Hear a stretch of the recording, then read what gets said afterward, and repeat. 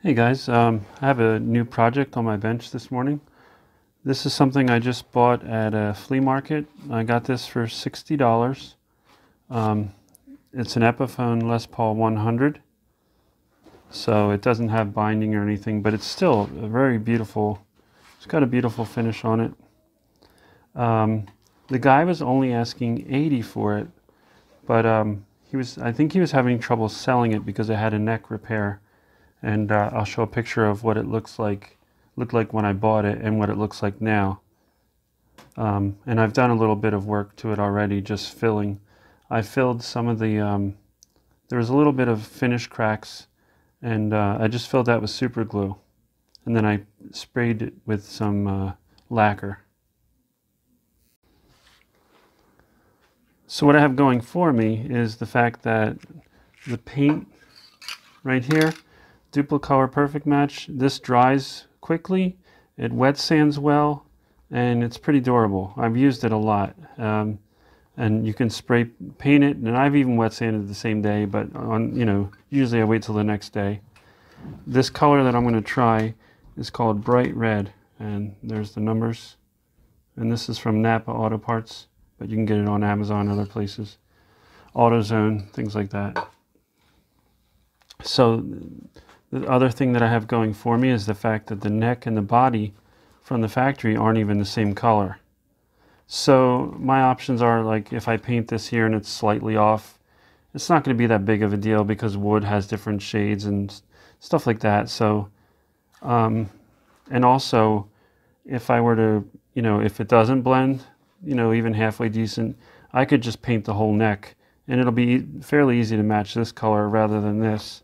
This is kind of like a cherry red, and this is more like a, uh, almost like a wine red. And I think they are original to each other because I've seen that a lot on guitars where they're not painted the same day. You know, they might even be painted like a month apart and then they're assembled in the factory. So that's not a big deal.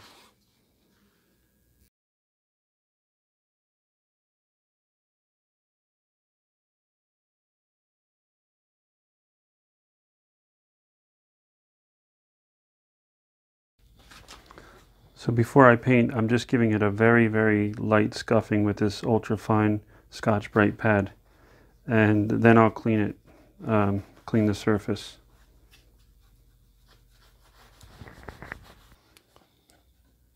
Um, I've always used just regular rubbing alcohol to clean the guitar before I paint, but um, someone did tell me that um, I think Gibson's they had a trouble. They had the this person had a personal experience where the um, they cleaned their guitar with alcohol, and it had uh, dissolved the finish or something like that. Um, but I told him I, I really don't have any high-end guitars usually, so I don't know you know what finish it would destroy. But you know use your own discretion and check out what what's good to uh, clean yours. But all the guitars I ever had are like Squiers and Epiphones and things like that to paint, and I haven't had any issues with that. And I just wipe it on real quick and wipe it off, and then I'm painting. So I think he was just cleaning his guitar, uh, not for paint, but just to clean it. So it might have stuck on there for longer. I don't know.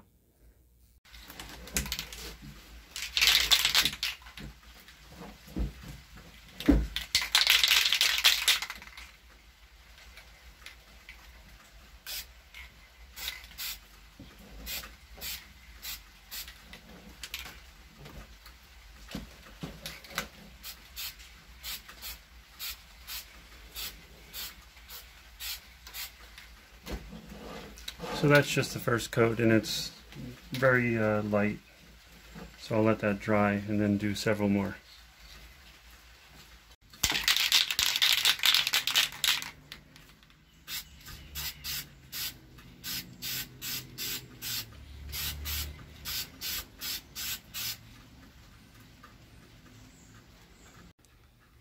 All right, this is at, um, still kind of wet, but this is after about six to seven coats. Um, I can already kind of tell that it's a good match for the body, but not for the neck. So I may end up painting this uh, neck completely, but not for this video. For this video, I'm still going to concentrate on blending this. So I'm going to wait about 10 to 20 minutes and then I'll pull the tape off and we'll see how big of a difference it is. Um, so I like to pull the tape off while it's still um, kind of wet so it doesn't tear.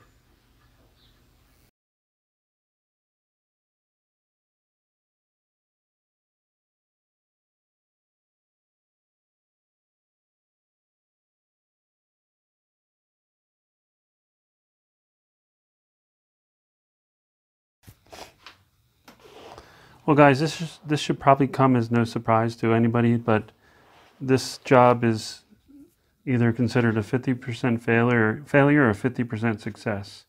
Um, the success is the paint itself. It came out um, very smooth and glossy. Um, yeah, it's very smooth. I still need to do a little more polishing on the original paint where I had overlapped. And I'd like to do possibly some more sanding on the edges to kind of blend it better. But if you see the, you can see the line there. But You can see it's a really good match for the body, but not the neck. So that's why I'm calling it a 50-50. Um, I am deciding, I have decided to keep it this way for now and just play the guitar and see see what else might creep up that it might need. But um, so far it's played well and stays in tune as best that a Les Paul stays in tune. Um, so definitely, I guess I should invest in an airbrush and uh, mix my own paints. And as you can see, you can get a really good, well, from the spray cans, you can get a really good uh, shine. So after I did the painting, I did this all in one day actually. I didn't even really let it dry that much. It dried really quick. So I wet sanded it on the where the spots where I had the runs, I uh, wet sanded them down with 400. But then I went up to 800 uh, and I skipped right to 1500 and then did 2500 and 3000. And I finished up with um, automotive uh, buffing comp uh, rubbing polishing compound, excuse me. Yeah, polishing compound, the white stuff and I put a little wax on it and it just feels great. I mean, and I, I show a picture of this, maybe a close-up when it's done and also, you know, the, uh, the original. I think it's, I think it's really, the color is obviously what the problem is. So, um, but we, we all expected that. We didn't think I could go on the shelf and pick out a color just by the cap. I mean, come on.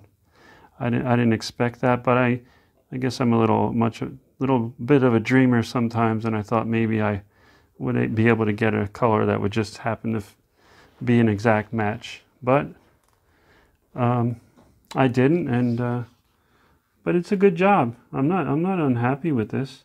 It's a very good job. So um, if you'd like to see me paint this whole neck sometime to match uh, you know, let me know. But I'll, I'll probably keep it like this for now. Well, anyway, at that point where I ended that video, I kind of thought about it and um, I decided I was going to just remove the neck and paint it one color and it would match a lot better than what it was. But what happened was somebody saw the guitar and um, they were happy with it the way it was and liked it. And they offered me this um, for a trade. And although I like that guitar, I've never had one one of these uh, arch tops. Um, this is a very cheap one, and it was in pretty bad shape. Um, but I, I, really wanted to trade, so I they were happy with with it the way it was. So I didn't do any more work to it. Although painting it would have uh, one color would have really improved it. So. Um, yeah, look for this in a future video. Um, this is a, like a 1960s 1960s Harmony. Um, I think it's an H1215. The top was sunken in, and there's a bunch of uh, shims underneath the bridge. So I I took some advice from Ken Falsgraf, and uh, I didn't, I was going to take the back off to fix it, but I didn't. So, but I'll tell you everything that I did, including install this uh, little pickup here in a future video. So the other guitar is in good hands. The guy loves it. He's been playing it and um, very happy with the feel of it. Okay, so keep, uh, keep an eye out for this in a future video. Thanks for watching.